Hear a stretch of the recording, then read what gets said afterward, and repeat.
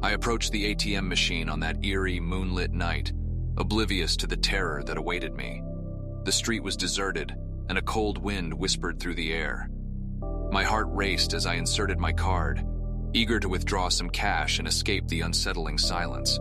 As the machine whirred to life, a strange noise echoed from within. It wasn't the usual hum of machinery, it was a low, guttural growl. Unease washed over me, but curiosity got the better of my fear, compelling me to investigate.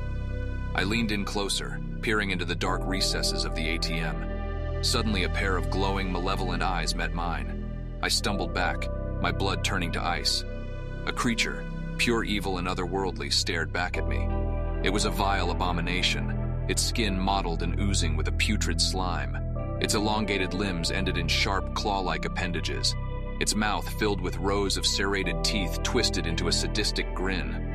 Paralyzed with fear, I watched as the creature emerged from the machine, its grotesque form contorting and elongating in ways that defied nature.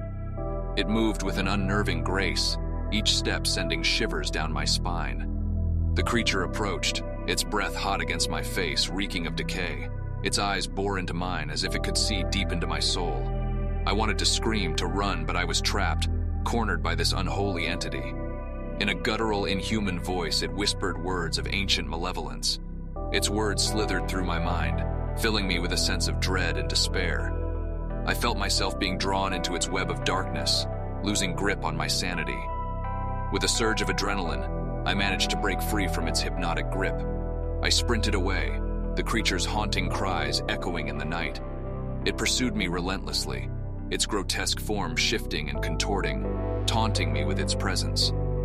As I stumbled onto a well-lit street, the creature vanished into the shadows, retreating back to the depths of its unholy domain. I collapsed, gasping for breath, thankful to have escaped its clutches. Since that harrowing encounter, I have avoided that ATM like the plague. The memory of those malevolent eyes haunts me, a constant reminder that there are terrors lurking in the most unexpected places. The creature in the ATM, a macabre secret hidden within the mundane, forever etched in the darkest corners of my mind.